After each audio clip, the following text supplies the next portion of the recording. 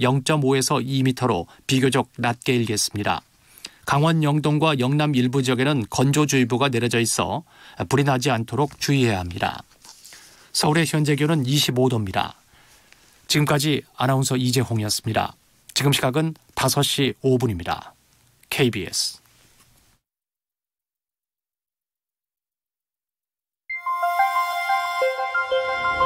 대한민국 중심 채널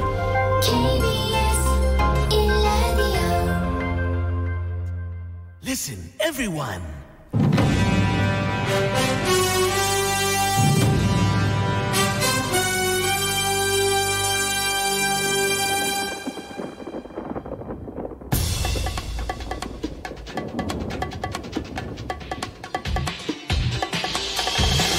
김용민 라이브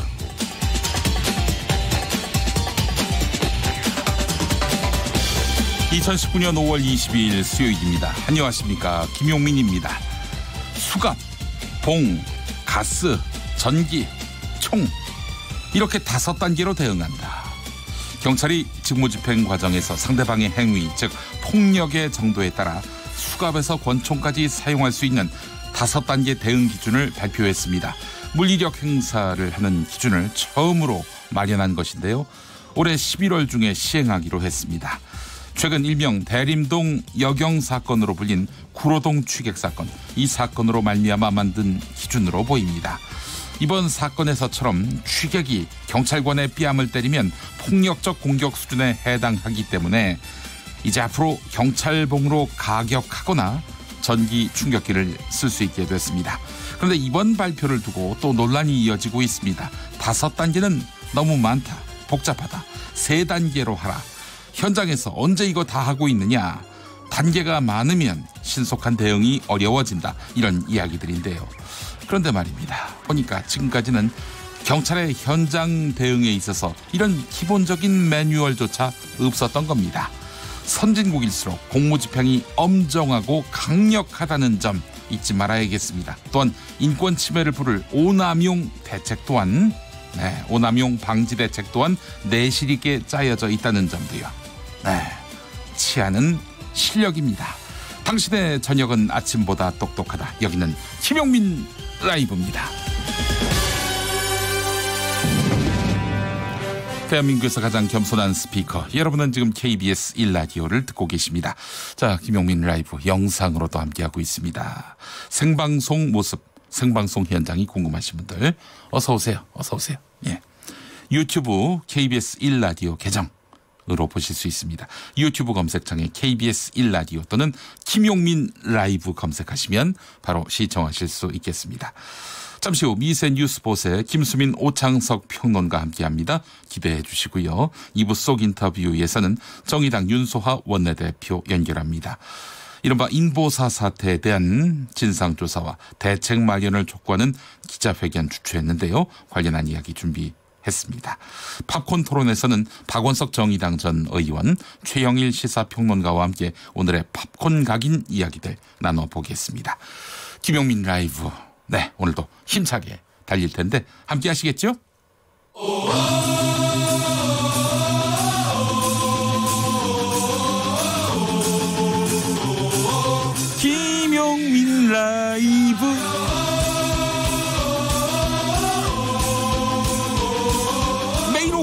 5시 5분.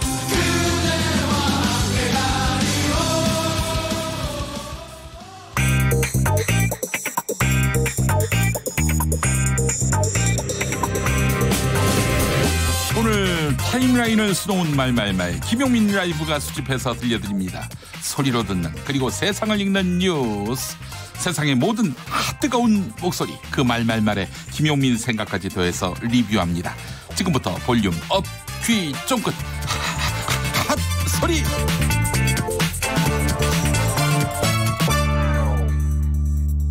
전라남도 영광에 있는 한빛 원자력 발전소 1호기 사고가 1986년에 발생한 우크라이나의 체르노빌 원전 사고와 본질적으로 실수의 종류가 같다. 이런 주장이 나왔습니다.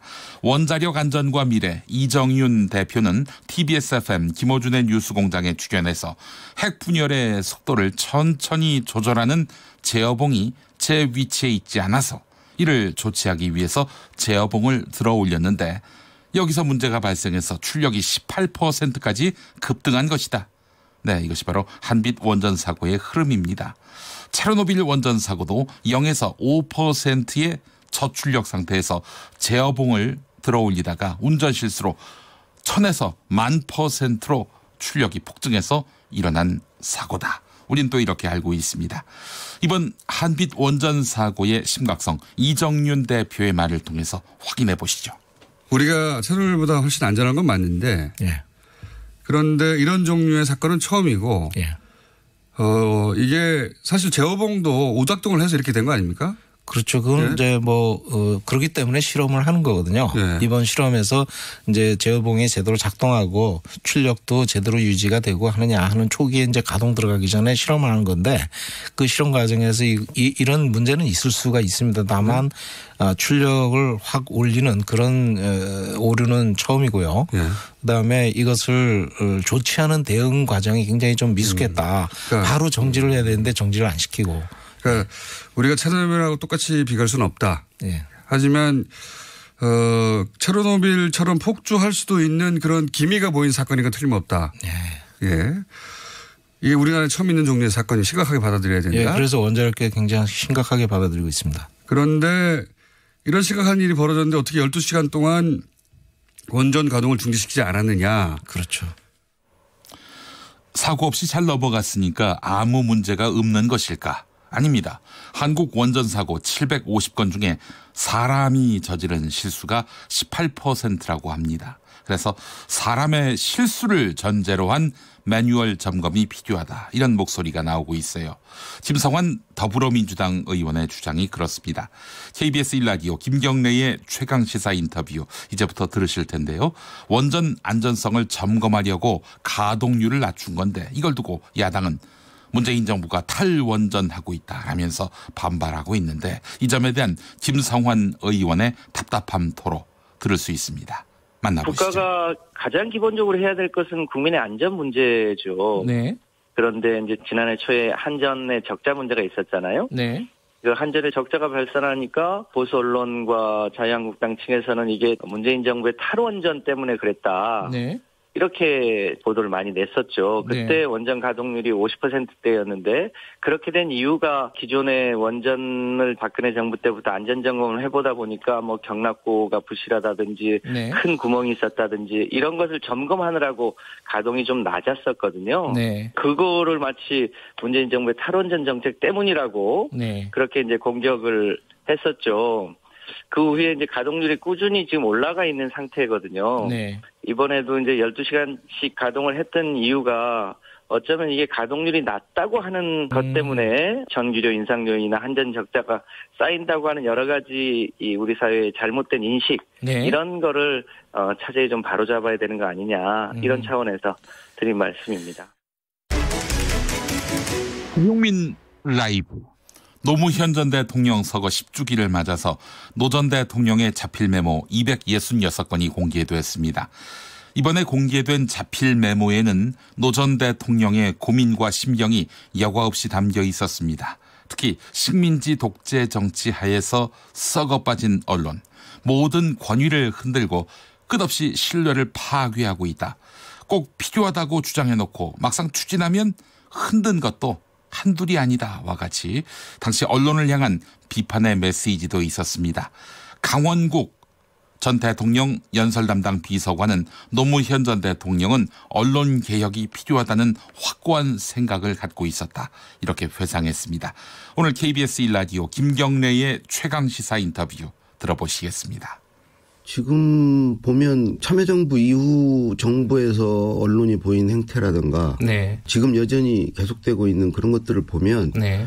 노무현 대통령 판단이 틀리지 않았다. 정말 음. 언론은 중요한 거다. 언론이 어떻게 하느냐에 따라서 대한민국의 미래가 좌우된다라고 생각이 들고요. 기본적으로 언론은 정부를 견제하고 비판하니까 네. 숙명적으로 대척점에 있죠. 근데 네. 기본적으로 노무현 대통령은 정책을 두고 대한 경쟁을 하자고 그랬어요. 네. 그게 국민을 위해서 좋은 거다. 대한민국의 미래를 위해서 좋은 거다. 그래서 사실은 건전 제한 뭐 이런 것들 분류를 해가지고 예. 정책에 다 반영했어요. 언론에 대해서 그 문제를 제기하고 무슨 그 언론 중재인가요? 이런데 예. 한 것보다 훨씬 많이 그 언론에서 제안한 것들을 받아주고 그 좋은 제안에 대해서는 직접 편지도 쓰셨어요. 언론에 쓴 기자한테 네. 이런 좋은 제안 해서 고맙다. 이렇게 반영하도록 하겠다. 정말 많이 썼어요. 근데 그런 건 전혀 알려지지 않았고요. 김용민 라이브. 손학규 대표 퇴, 퇴진을 요구하면서 최고위원 회의 참석을 거부하던 최고위원 3명 며칠 전에 복귀했죠. 바른미래당 최고위원회 회의장. 그런데 연일 고성과 설전이 이어지고 있습니다. 오늘도 그랬습니다. 지금 청와대와 자유한국당 사이에 독재자의 후예 논쟁이 벌어지고 있다며 입을 연 하태경 최고위원. 나이가 들면 정신이 퇴락한다라고 말했습니다. 나이가 들면 정신이 퇴락한다. 누구를 겨냥한 말일까요? 손학규 대표는 나중에 당대표로서 공격을 받고 있지만 정치적으로 최소한의 금도가 살아있는 정치가 됐으면 좋겠다. 이렇게 말했습니다. 손학규 대표 발언, 하태경 최고위원 발언 차리로 들어보시죠. 먼저 지명직 최고위원 2인에 대한 임명 철회권과 정책위 의장 사무총장 임명 철회권 그리고 당헌 유권 해석권 등은 이미 지난 2일 하태경 최고위원께서 이와 관련해서 법원에 소송을 제기한 것으로 알고 있습니다. 물론 저는 당내의 정치적인 행위를 법정으로 가져가는 것은 결코 바람스럽지 않다 이런 말씀을 이미 드린 바 있습니다만 여하튼 지금으로서는 법원의 판결을 기다리고 있는 상황에서 논의의 실익이 없는 안건들로 판단이 됩니다. 한번 민주투사가 영원한 민주투사가 아닙니다. 한번 민주투사가 대통령이 되면 독재를 하는 경우도 있고요. 당 대표가 되면 당 독재를 하는 경우도 있습니다. 그만큼 민주주의는 지키기 어렵습니다. 가장 지키기 어려운 민주주의가 개인 내면의 민주주의입니다. 왜냐하면 나이가 들면 그 정신이 퇴락하기 때문이죠. 혁신하지 못해서 몰락하는 정치인들 수없이 와왔습니다. 김용민 라이브. 최근 자유한국당 황교안 대표에게 집권하면 장관 자리 드리겠다 이렇게 제안받았다라고 말한 사람이 있습니다. 전광훈 한국기독교 총연합회 대표 회장 목사입니다. 기자가 찾아가서 그 말을 확인하려고 하니까 나는 그런 말 한 적이 없다 이렇게 잡아댔어요. 예배 설교 시간에 임종석 전 청와대 비서실장을 빨갱이 같은 사람이라고 몰아세우던 전광훈 목사. 다음 총선에서 임종석 전 실장을 낙선시켜야 한다 이렇게 주장하기도 했는데요. 오늘 MBC 라디오 시민보의 시선 집중에 전광훈 목사가 출연했습니다. 그 발언 문제 없었다면서 도리어 큰 소리를 냈습니다.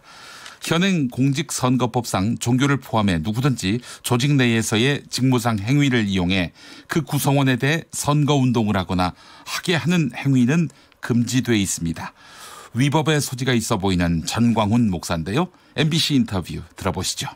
저는 임종석 그분은 정치하면 안 된다고 생각합니다. 왜냐하면 그분이 신봉해온 것이 주체 사상이라는 것은 뭐 전 국민이 다 알고 있는데 뭐 젊었을 때 주체사상 할 수도 있죠. 뭐 얼마든지 사상은 자유지만은 그러나 정치를 하는 사람들은 왜 주체사상이 문제가 되냐 하면 주체사상은 우리나라 헌법을 부정하고 있거든요. 그리고 예. 대법원 판례에도 주체 사상은 이것은 불법 단체 쪽으로 예. 판결이 나 있습니다. 임종석 전 비서실장이 그분이 예, 주체사상을 신봉하고 있지는 않- 않은 전향한 적이. 예. 없어요. 공개적으로. 그럼 그렇게 국회의원들이 주체사상 그만둔다고 말씀 좀 해라고 했는데도 안 했지 않습니까? 작년에도. 예. 근데 한마디만 말씀드리는데 됐습니다. 진짜 예. 본질적인 말씀 안 물어보시는데 그 황교안 장로님 나보고 뭐 장관하라겠다 이런 말을 예. 가지고 MBC가 나한테 들어대는데 예. 아니 저하고 황교안 장로님을 죽이라고 누구 지시를 받았나요? MBC에서? 그럴 리가 있겠습니까? 아니 예. 그러면 그 많은 말들 중에 그 문제가 되는 발언이니까 남들이 그렇겠죠. 예. 오해를 하기 위해서 근데 앞에 저한테 물어봐야죠. 알겠습니다. 왜 그런 발언을 하게 됐는지. 김용민 라이브. 자유한국당 나경원 원내대표는 김성태 전 원내대표를 비롯해 원유철, 홍문종, 김재원, 염동열 의원 등이 검찰 수사나 재판을 받고 있고 패스트 트랙만으로 의원 50명이 고발당했다며 야당 탄압을 멈추고 공정하게 수사하라 이렇게 촉구했습니다. 나경원 원내대표의 말 들어보시겠습니다.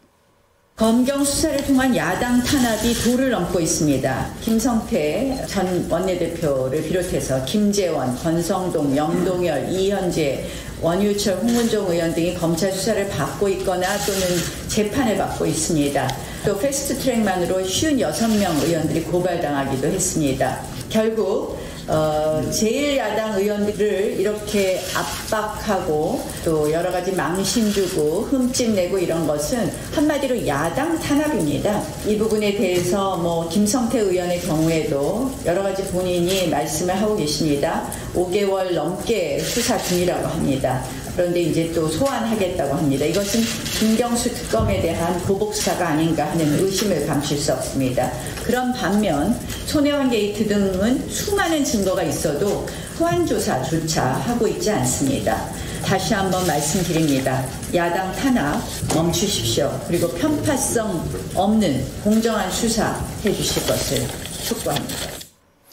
법무부 검찰 과거사위원회가 장자연 사건을 13개월 동안 조사하면서 부실 수사와 조선일보의 외압을 확인했지만 증거 부족이나 공소시효가 지났다는 이유로 재수사를 권고하지 않았지요. 여당인 더불어민주당의 이인영 원내대표가 특검이나 국정조사 가능성을 시사해 주목됩니다. 이인영 원내대표, 검찰과 경찰이 끝까지 국민적 요구를 외면한다면 국회가 나설 수밖에 없다는 점을 경고한다. 이렇게 말했습니다. 들어보시죠. 장자연 사건 재조사는 끝내 우리 국민의 근본적 질문에 대답하지 않았습니다. 장장 13개월 동안 검찰의 재조사 결과가 고작 이것이냐 이렇게 묻고 싶습니다. 부실 수사의 외압을 확인했다지만 핵심적 의혹은 무엇인지도 밝히지 않았습니다. 어, 오히려 국민적 의혹 사건의 실체적 진실을 규명할 길을 또다시 어, 막은 것이 아니냐 이런 비판이 어, 쏟아지고 있습니다. 결론이 진상조사단의 다수 권고 의견을 묵살한 것이라는 점도 매우 충격적입니다. 범죄자들이 뻔뻔하게 활보하는 모습에 우리 국민들은 참담한 심정을 느끼고 계십니다. 검경은 더 늦기 전에 국민적 의혹 해소와 실체적 진실 규명에 나서기 바랍니다. 만약 검찰과 경찰이 끝까지 국민적 요구를 외면한다면 국회가 나설 수밖에 없다는 점을 경고합니다.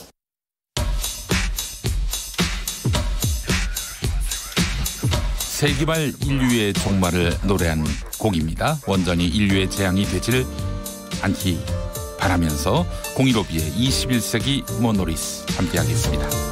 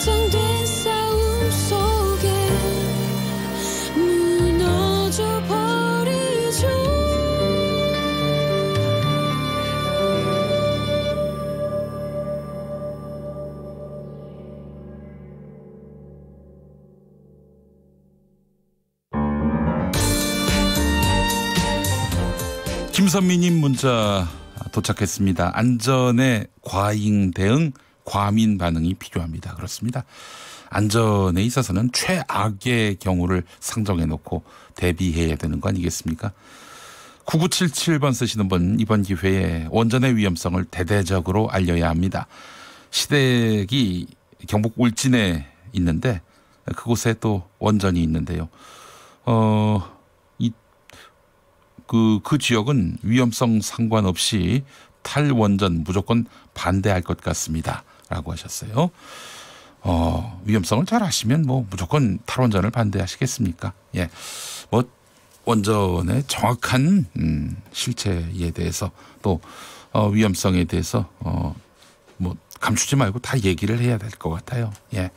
6362번 쓰시는 분 한빛 원전 어, 천만다행으로 무사히 넘어갔군요. 그래도 앞으로가 불안합니다. 확실한 대책을 촉구합니다. 이진주님 음, 정신이 쇠락한 사람은 남녀노소 따로 없어요. 그렇죠.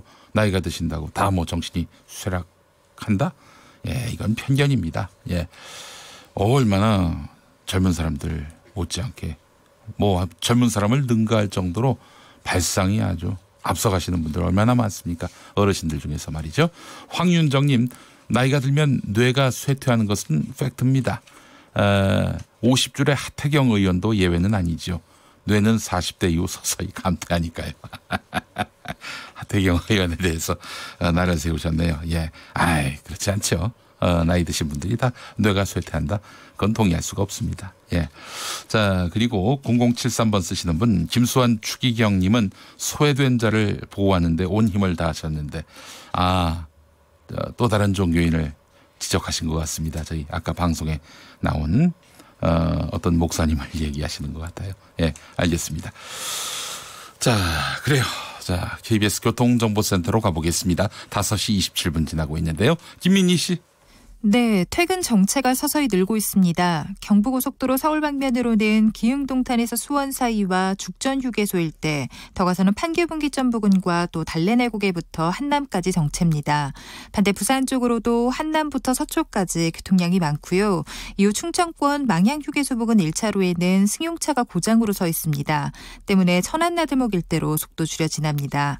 제2경인고속도로 안양 쪽으로 남동 부근 사고는 처리 작업이 마무리됐지만 문학 부근부터 3km 구간에서 극심한 정체고요. 반대 인천 가는 길은 산막에서 광명 사이와 또 남동에서 문학 사이로 더디게 지납니다. 서울 시내 내부 순환로 성산대교 쪽으로 기름 램프에서 정릉 램프 사이에는 고장난 차가 서 있어서 월곡 램프부터 정체 심하고요. 더 가서 홍지문 터널 안에서 있었던 사고는 처리 작업이 마무리됐지만 정릉 터널부터 속도 줄여 지납니다. 이 때문에 북부간선도로도 도심 쪽으로 거의 전 구간에서 정체입니다. KBS 교통정보센터였습니다.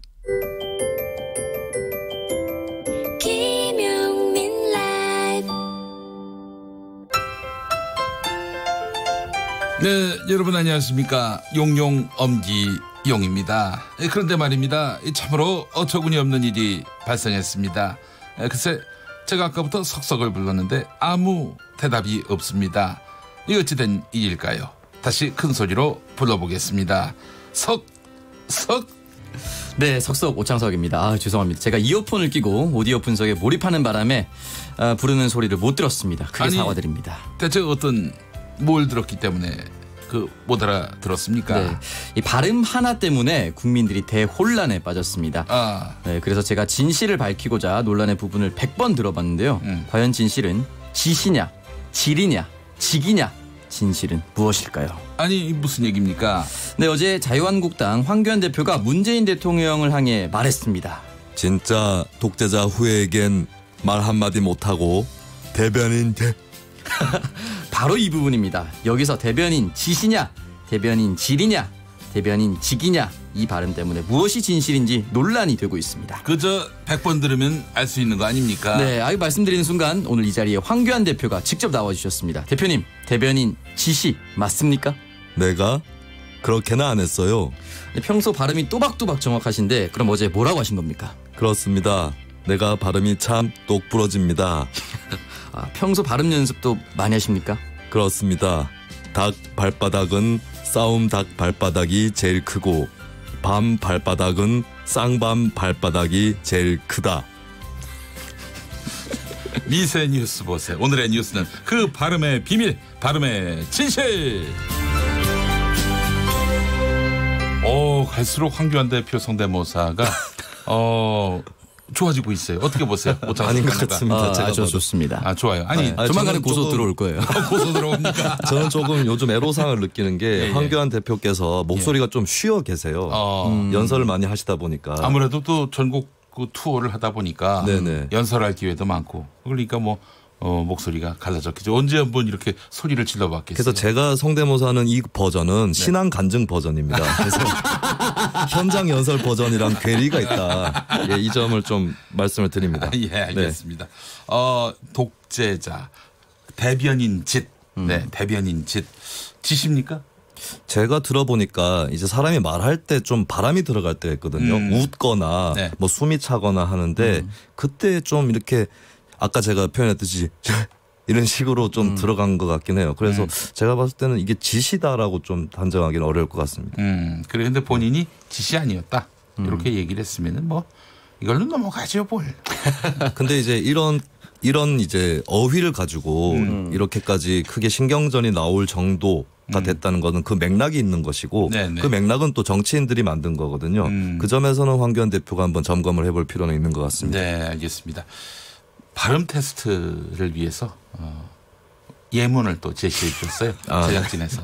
네. 어, 그러니까 뭐 황교안 대표께서도 한번 참고하시라고. 어, 민민이 문을 도로록 드르륵 두루룩 열었는가. 도로룩 아, 도루룩 드로록 두르륵 열었는가. 아, 어렵네요. 어려워요. 예, 뭐 예, 예전에 그 조달청 창살, 쌍창살 이런 것처럼 굉장히 어렵네요. 또 하나 있어요. 그거 한번 오창석 평론가 해보세요. 아 이거 아니, 귀돌이네. 예. 귀돌이네 담 밑에서 귀뚜라미가 귀뚤뚤뚤 귀뚤뚤뚤 석석이네 담 밑에서 귀뚜라미가 뚫뚫뚫뚫 뚫뚫뚫뚫 어, 이거 하려고 정계 은퇴했다는 거 있어요. 맞습니까? 이거 하려고. 아 보람이 있네요. 예, 발음 테스트 하려고. 네, 정기한테 한지 3년 만에 드디어 보람찬 일을 아, 했습니다. 그래요. 그 김수인 평론가는 성대모사 하려고 정계 은퇴했다는 아, 예. 그런 얘기가 있어요. 아, 저는 시의원 할 때도 동료 시의원 성대모사를 했었습니다. 아, 그 분만 해주세요. 뭐 못 알아들어도. 아, 예. 물어볼까요? 아, 이분 지금 경북도 의원이신데. 아, 그러세요? 예, 김상조 의원이시라고. 예, 김상조 예, 의원. 혹시 방송 듣고 계신지 모르겠는데 잘 지내시는지 예. 예, 궁금합니다. 그리고 여기 대구 경북에도 방송되고 있어요. 네. 지금 이 시각에. 모든 네. 의회에 그런 분이 한 분씩 계시는 것 같아요. 알겠습니다. 자, 그래요. 다음 소식 한번 또 짚어보겠습니다. 김수민 평론가. 네. 일본 정부를 대변하는 인상을 줬다라고 하는 그런 비판을 많이 받았습니다. 한국 원자력 학회의 그 행사에 대해서 오늘 한국 원자력 학회가 사과하는 그런 보도 자료를 냈습니다. 음. 이그 학회의 행사 때 보면은 이제 하야노 교수라는 일본 도쿄 물리학과 명예 교수를 초청해서 예. 후쿠시마산 그 음식이 안전하다라는 그런 얘기를 했는데 아, 식자재가. 네, 그렇습니다. 식자재가 안전하다라고 얘기를 했는데 이거 사실 WTO에서의 그 판결도 있었고 음. 근데 일본 정부 입장을 대변하는 그런 행사가 아니었나라는 시민단체 비판이 있었는데 네네. 예, 여기에 대해서 원자력 학회가 어, 향후 이런 논란이 재발하지 않도록 할 것이라고 일단은 사과하는 그런 입장을 발표했습니다. 대한민국 원자력 학회가 일본 정부를 대변하는 듯한 태도를 취하는 것. 게다가 뭐 일본의 의도는 이거 아니에요. 어, 일본산 식자재 안전하니 수입하라. 뭐 거기에 장단을 맞추는 듯한 그런 어, 행태여서 여러 가지로 논란을 빚고 있는데 오늘 원자력 학회가 급기야 사과문을 냈습니다. 사과문을 발표했지만 논란은 계속되고 있는데요. 어, 이 문제와 관련해서 환경운동연합 대한사회국 안재훈 국장이 지금 연결됐습니다. 안재훈 국장님 나와 계시죠? 예, 안녕하십니까. 네, 그 어제 있었던 한국 원자력 학회 기자회견 내용 어, 상당히 당황스러웠다는 분들 많이 봤습니다. 네, 저도 사실 이거 내용을 보면서 너무 당황스러워서 뭐라고 얘기해야 될지 참 그랬었는데요. 네, 뭐 심지어 수치로 보면은 방사능 수치가 사실 후쿠시마 수산물 수입은 상관없 없을 정도로 낮다라는 음. 얘기까지 나왔다라고 합니다. 네, 어, 그래요. 저, 어, 이 자리에서 일본 어느 현에서도 후쿠시마 원전 사고 후 현재까지 방사능이 원인이 돼서 사망한 것은 보고되지 않았다 이런 주장도 나왔는데 아니 사망하지 않으면 다 괜찮은 건지 이것도 의문이고요. 아니 그, 그 주장은 어떻습니까? 이게 사실이에요? 아니면 그냥 일본 쪽에서 어 일본산 어, 농식품 품을 많이 팔기 위해서 말을 지어낸 거예요. 일단은 지금 일본 정부나 예. 일본의 원자력 쪽에서는 주장하는 게 이제 후쿠시마 사고가 발생했을 때 네. 이제 직접적으로 사망한 사람이 없다라는 얘기를 합니다. 네. 그 얘기는 뭐 예전에 1986년도에 발생한 체르노빌 사고처럼 음.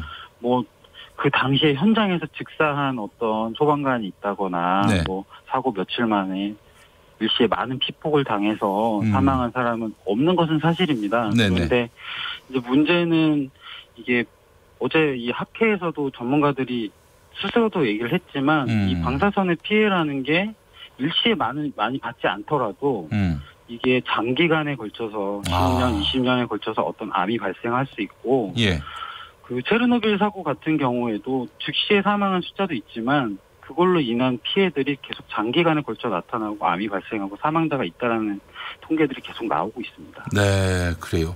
그렇기 때문에 뭐 이게 획일적으로 뭐 죽었다 안 죽었다 이걸로 안전성의 판단 기준을 삼을 수는 없는 것이다 이 말씀인 것 같아요. 예. 그리고 실제로 보면 후쿠시마에서 이제 보통 이런 사고가 발생했을 때 갑상선암 환자들이 늘어나는데요. 음. 특히 이제 청소년 같은 경우에는 일반적으로 갑상선암 환자가 거의 없습니다. 네. 근데 청소년에 있어서 갑상선암 환자가 뭐 173명이 발생을 하고 작년 수치로 뭐 의심 환자가 38명이 발생했다는 기록도 있습니다. 예. 어제 기자회견에 참석한 강건욱 교수는 WTO 1심 결과가 나오기 전에 일본에 현지 조사를 갔던 민간 전문가로 알고 있습니다. 1심은 결국 패소한 걸로 나왔는데 당시 조사단은 중간에 조사를 중단하고 한국으로 다시 돌아왔다고 들었어요. 어, 이와 관련한 이야기 알고 계신 거 좀 말씀해 주시겠어요? 네, 그 일본에서 우리가 2013년 9월에 이 후쿠시마 주변 수산물 수입을 금지를 하니까 WTO에 계속 제소하겠다라는 항의를 계속 했었습니다. 예, 예, 예. 예, 그래서 정부에서도 그 당시 이제 박근혜 정부 시절인데요. 이 일본 방사능 안전관리 민간 전문가위원회를 꾸려서 음. 일본에 이제 2013 14년 말과 2015년 초에 두 차례 정도 현지 조사를 갑니다. 예. 그래서 뭐 오염 조사 활동을 했다라고 하는데요. 근데 이게 2015년 5월에 일본 정부가 공식적으로 WTO 제소를 한 다음에는 돌연 이 활동이 중단이 됩니다. 네. 이 민간 전문가 위원회가 무슨 역할을 했고 어떤 조사를 했고 라는 게 이제 전혀 공개되지 않고 있고 보고서조차도 작성이 안 됐다라는 얘기가 있었습니다. 그러다 보니까 이제 이러한 결과들이 모아져서 사실 1심이 패소했다라는 얘기가 있었고요. 예, 예, 예. 어제 원자력 학회에서 그 발표를 하셨던 음. 이재기 교수가 이 위원회 위원장을 맡았고 음. 같이 또 문제가 됐던 강건우 교수가 위원으로 참여한 것으로 알고 있습니다. 어, 일본산 식자재가 위험하다. 이런 점을 입증해야 될 교수들이 조사하지도 않고 돌아와서 어, 이거 결국 우리가 WTO 1심, 1심 때 우리가 질 수밖에 없었던 상황을 스스로 초래한 것 아닌가, 자초한 거 아닌가 이런 의문을 갖게 만듭니다. 어떻게 보세요? 네, 그러니까 어제 발표에서도 조금은 뭐 오염된 거 조금 먹어도 괜찮다라는 식의 인식을 갖고 있는 교수들이 아, 그래요? 이 민간 조사위원회의 전문가위원회 위원으로 참여를 하다 보니까 과연 예. 그 조사위원회가 음. 정말 우리 안전을 지키기 위해서 조사를 한 건지 뭐 이 정도 어느 정도 오염된 거는 먹어도 괜찮다라는 어떤 일본 정부의 음. 네. 논리에 그대로 따라간 것은 아닌지 좀 의심이 되고 있습니다. 아니 그 최고의 식자재를 먹고 싶어하는 마음이 국민들의 일반적인 마음인데 왜 그냥 어 위험해도 먹어라 이런 말이 어불성설 아닙니까? 그러니까 이, 이 교수님들의 주장은 사실은 음. 뭐 일, 많은 양의 방사선은 문제가 될 수 있지만 네. 적게 받으면 문제가 없다라는 논리거든요. 아 그래요? 네. 본인들은 한번 드셔보셨나 모르겠어요? 아마 뭐 제가 봤을 때는 그것까지는 모르겠는데요. 예, 도로리님이 문자를 보내셨는데 원자력 학회 회식 자리에서 후쿠시마산 회를 먹으면 인정한다 이런 말씀을 하셨네요. 예, 알겠습니다. 저기 국장님, 그 네. 우리나라와 일본 정부가 벌였던 수산물 분쟁에서 세계 무역기구가 우리나라 손을 들어줬는데 한 달전 얘기입니다. 그때 우리나라가 이제 1심에선 졌지만 2심에서 이겼어요. 승소 결과가 나온 이후인데 그 이후에 왜 한국 원자력 학회가 일본 교수를 초청해서 이런 기자회견을 열었을까요? 어떻게 보세요? 아마도 원자력 학회 분들은 이게 이제 자칫하면 후쿠시마가 뭐 안전하지 않고 일본산 수산물이 음. 방사성 물질에 오염돼 있다라는 얘기들을 국민들이 접하게 되면 네. 이 우리도 원전을 많이 하고 있고 지금 정부가 탈원전 정책을 안전을 위해서 하고 있지 않습니까? 예. 그러다 보니까 이제 여기에도 또 안전 부정적인 영향을 끼치는 것을 우려했던 거 아닌가 싶고요. 예, 예. 또 지금 원자력 학회나 음. 이 원자력 쪽에서는 지금 신규 원전을 더 짓자는 주장을 계속 하고 있습니다. 예, 예, 이제 예. 이런 문제들이 부각되다 보면 그런 것에 별로 좋지 않은 여론을 줄까봐 음. 이런 것까지 한 거 아닌가 이런 생각이 듭니다. 그 한빛 원전에서 열출력 급증 사고가 있었지 않습니까? 우리나라 원전 안전 문제 다시 지금 어, 여론에 에, 관심을 에, 사고 있는데 한국 원자력 학회는 국내 원전 사고에 대해서 뭐라고 얘기하고 있는지요? 저도 원자력 학회가 이런 문제에 대해서 어떤 입장인지 좀 궁금한데요. 네. 그동안 사실 어떤 발표 내들을 보면 음. 이런 주제에 대한 발표들을 공식적으로 하거나 하는 걸 예. 잘 보지 못했습니다. 그리고 뭐 핵폐기물 문제처럼 지금 우리가 원전을 하면서 발생한 어떤 문제들에 대해서는 좀 관심이 별로 없는 것 같고요. 예. 오히려 이제 탈원전 정책을 비판하거나 음. 아니면 이제 정부가 지금 뭐 청정한 에너지를 위해서 이제 태양광이나 풍력 같은 것들을 하고 예. 있는데 이런 거가 문제가 어떤 게 있고 또 이것으로 인해서 전기요금이 얼마나 올라가고 이런 문제들에 대해서는 많은 목소리를 내고 있는 것으로 알고 네. 있습니다. 예. 후쿠시마 식자재에 대한 불안감 이거를 줄이는 목적이 혹시 원전을 보다 확대해도 된다는 여론을 만들기 위해서가 아닌지 의문을 갖게 만드는데요. 어, 일본 수산물에 대한 또 일본 각종 식자재에 대한 우리나라의 정부의 그 관리 감독 체계 어떻게 어, 잘 짜여져 있는지요? 어떻게 보세요? 네, 정부가 지금 현재 취하고 있는 조치는 저는 상당히 합리적인 조치다라고 생각합니다. 네. 저희 일본산 모든 식품을 지금 수입 금지하고 있는 게 아니고 음. 그 오염 가능성이 높은 또 그런 개연성이 높은 지역의 수산물은 수입을 금지하면서 네. 만약에 이제 그 통과를 할 때이 음. 검역 단계에서 세슘이나 이런 방사성 물질이 조금이라도 검출이 되면 추가 핵종 검사를 통해서 더 철저히 그 수입을 차단을 하는 방식을 하고 있기 때문에 네, 네. 지금 우리가 안심하고 먹거리를 먹을 수 있다 이렇게 생각을 합니다. 네, 그런데 이제 일본산 식자재 어, 규제를 풀어라 지금 이렇게 주장한 거예요. 원자력 학회가 예, 알겠습니다. 환경운동연합 대한사회국 안재훈 국장 오늘 말씀 잘 들었습니다. 예, 감사합니다. 예, 그래요. 어, 4588번 쓰시는 분 민민석석 경상북도 청도에서 잘 듣고 있습니다라고 하셨어요. 어, 청도면은 대구 남쪽이죠? 네네. 예. 101.3으로 듣고 계시겠네요. 어. 예. 감사합니다. 많이 많이 들어주시기 바라겠습니다. 자, 그래요. 어, 다음 소식은 우리 오창석 평론가가 준비했나요? 네, 내일이 이제 노무현 전 대통령 10주기입니다. 아, 여기 추도식에 어, 여권 인사를 뿐만 아니라 음. 미국의 전 대통령이었던 조지 W 부시 대통령도 참석할 어, 것이다. 그래요. 라고 나와 있습니다. 어, 노무현 재단은요 추모 영상 상영, 추도사, 추모 공연, 참배 등의 순서로 10주기 추모식이 열린다라고 했고요. 음. 각계각층의 인사와 문희상 국회의장 그리고 더불어민주당의 지도부, 각 정당의 대표가 함께 참석한다라고 했습니다. 다만 네. 자유한국당의 한교안 대표를 비롯한 지도부 의원들의 참석에 계획은 없다라고 나와 있습니다. 네. 그래요. 자유한국당 황교안 대표는 참석을 안 한다. 네. 예. 사실은 이제 그 보수 정당에서 예전에 김무성 음. 의원이 한번 참석을 했었는데요. 네. 그- 그 이후로는 참석한 적이 거의 없었습니다. 그때 김무성 대표가 참석했다가 네. 유족인 노건호 씨한테 아주 어, 대차게 한번 아, 비난을 들었어요. 네, 맞습니다. 아, 그 당시에 김무성 의원이 어, 박근혜 2012년 대선이었죠. 예. 영도에서 예. NLL과 관련한 예. 어, 노무현 대통령에 대한 비난을 했고 거기에 대해서 어, 노건호 씨가 음. 어, 꼬집는 말을 했었었죠. 김무성 전 대표님 네. 왜안 가셨어요? 내 마음입니다. 아, 예, 예. 그때 가셨는데, 이번에 왜 안 가시냐고 물어보는 걸 제가 잘못 물었습니다. 왜 안 가세요, 이번에? 모르죠. 제가 성대모사를 빌어서 함부로 얘기했다가 예, 예, 피소의 예. 가능성이 있어서. 알겠습니다. 네, 예, 예. 넘어갈 뻔 했네요. 아, 그, 예, 예. 결국 자기 마음 때문에 안 가는 거 아닙니까? 그러니까 예, 예. 예, 그 마음이 무엇인지는 알 수가 없죠. 예, 알겠습니다. 자, 김수민 평론가 다음 소식은 뭡니까? 네, 당청 간의 경찰 개혁에 이견이 있다는 보도가 나왔습니다. 조선일보가 지난 20일 열렸던 당정청 협의회 보도에서 네. 밝혔던 내용인데 조세 마약 수사 기능을 법무부 아래에 둔다라고 하는 문무일 검찰총장의 개혁안에 대해서 조국 청와대 민정수석은 문제점을 제기했고 반면에 이인영 원내대표 등은 어 여기에 제동을 걸었다 이런 보도가 나왔거든요. 오, 당청 갈등이 빚어졌다 이런 얘기네요. 네, 그런데 오늘 이제 당과 청, 그러니까 청와대와 더불어민주당 모두가 어, 이런 보도 내용은 사실과 다르다라고 밝히고 매우 유감이라고 반박을 했습니다. 네. 꾸준히 함께 논의를 해온 정책 과제이기 때문에 새삼스럽게 부각된 문제가 음. 아니다라고 그렇게 설명을 또 했죠. 예. 뭐 이러면 넘어가는 겁니까?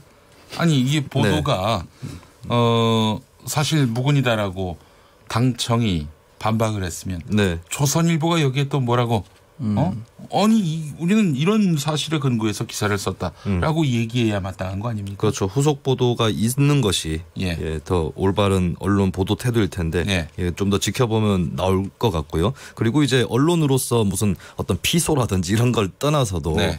어 이제 계속해서 어떤 관계자의 말을 인용해서 보도하는 것 이것이 네. 이제 남발이 되면 네. 언론의 신뢰도는 떨어진다라는 예. 것이고 이제 언론 소비자들도 음. 좀 굉장히 불투명한 기사에 대해서는 네. 일단은 그냥 믿지 않 거나 음. 혹은 유보하는 그런 태도를 보여주고 있습니다. 그래서 네. 언론 스스로 잘 깨달을 필요가 있겠죠. 어 그래요.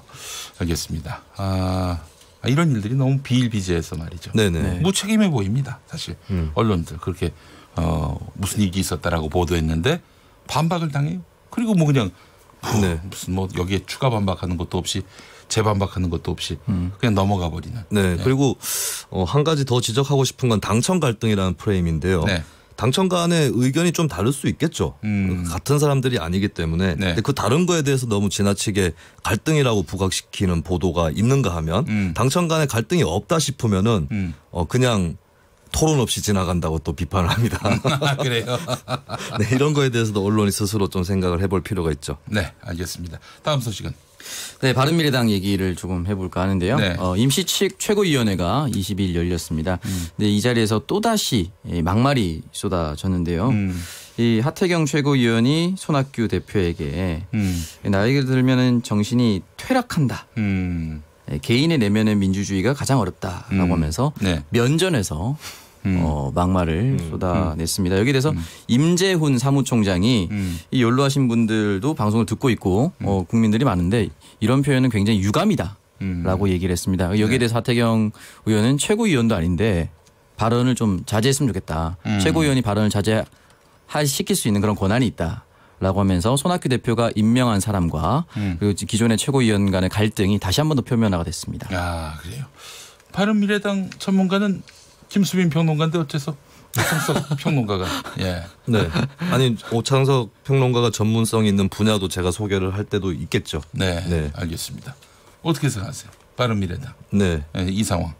이 상황 뭐 글쎄 이게 끝이 도대체 어디까지인지 음. 그게 궁금한데 문제는 이제 이 키를 누가 쥐고 있고 네. 그리고 실마리를 누가 푸느냐 음. 아마 지금 현재 싸우고 있는 사람들 사이에서는 네. 답이 안 나올 거라고 저는 음. 보고 있거든요. 알겠습니다. 예, 그 키가 언제 나오느냐가 관건이 되겠네요. 네, 오창석 평론가 예. 반박하세요.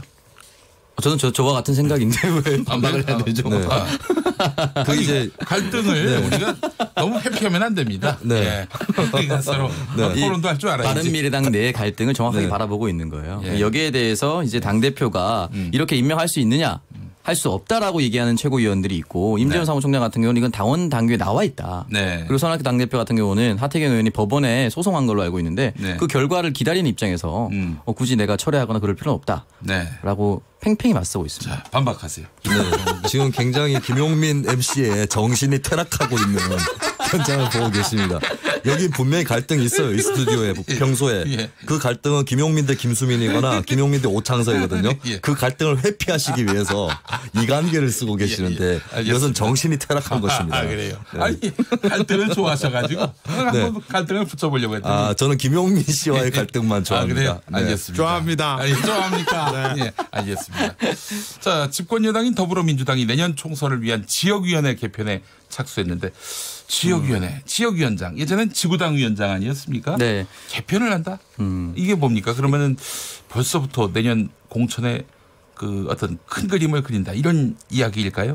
아, 그건 아니고요. 지금 예. 현재 지역구가 253개가 규정되어 있습니다. 여기에서 21개 지역구가 네. 직무대행 체제 또는 사고 지역위원회로 사실상의 지역위원장이 공석인 상태였습니다. 네. 그렇기 때문에 여기에서 나머지 21개의 퍼즐을 채워 넣는다라고 보시면 될것 같고요. 자유한국당 같은 경우는 지역위원장이라는 명칭 대신에 당협위원장이라는 음. 표현을 쓰고 있습니다. 네네. 아, 보통 직무대행 체제는 청와대나 또는 서울시와 같은 행정부 산하 지자체 산하의 기관으로 지역위원장이 들어갔을 경우에 직무대행 체제를 했었는데요.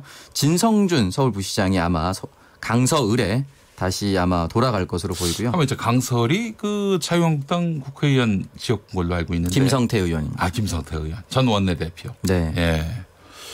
지난번 총선 때도 진검승부가 있었어요. 네, 맞습니다. 음, 그래요.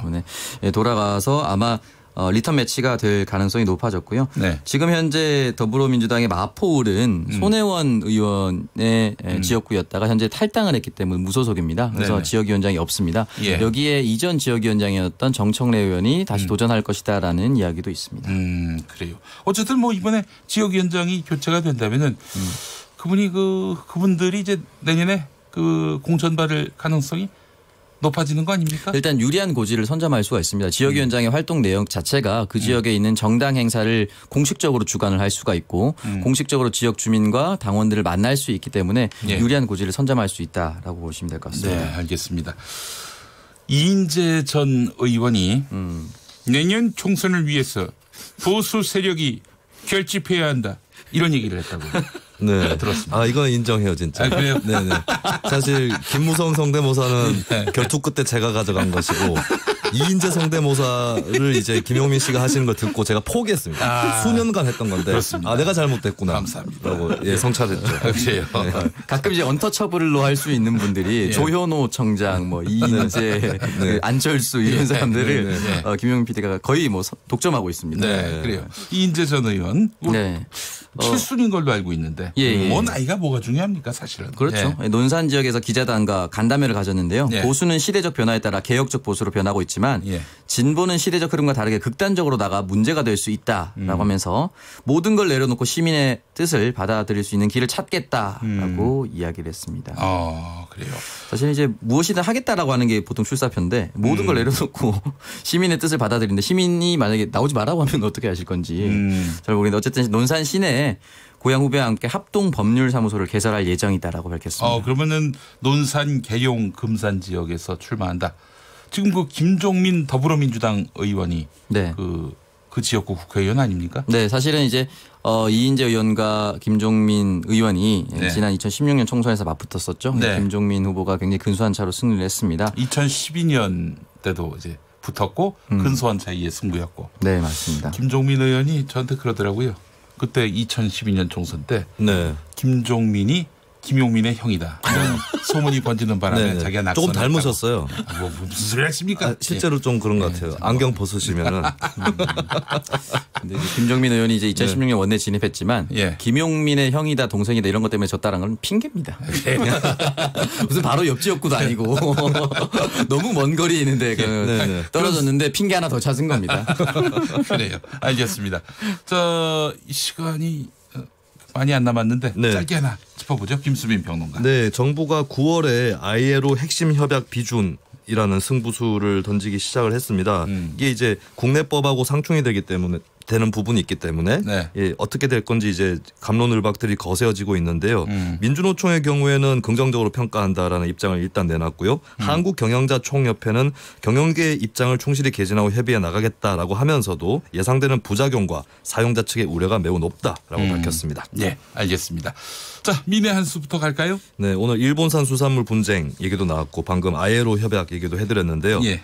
WTO 대변인, 아예로 대변인이라고는 차마 못하는 듯. 그렇게 말 못하는 듯. 네. 알겠습니다. 자, 석의 한 수. 네, 원자력 학회의 책임 정신이 퇴락하고 있다. 네. 아이고, 네. 퇴락이 갑자기 에, 급상승하는 키워드가 되고 있습니다. 하태경 의원님 고맙습니다. 예, 퇴락, 퇴락. 알겠습니다. 자, 두 분 수고 많이 하셨습니다. 고맙습니다. 고맙습니다. 예. 어, 2부, 2부는 6시 5분부터 함께 할 텐데요. 어, 정의당 윤소하 의원 나오고요. 어, 박원석 정의당 전 의원 그리고 최영일 시사평론가와 함께 하겠습니다. 6시 5분에도 변함없이 주파수 고정해 주세요.